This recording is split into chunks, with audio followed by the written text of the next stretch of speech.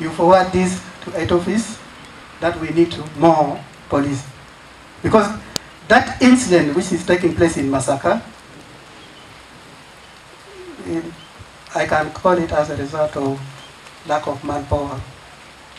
So there is need for us to add.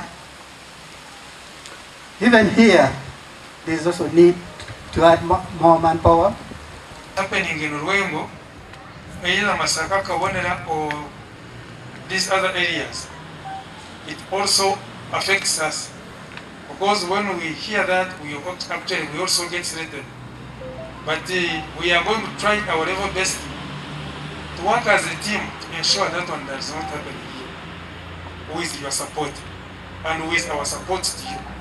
But we pray that the Masaka people also join their hands together with you, with your presence there, and we see that kind of situation normalize.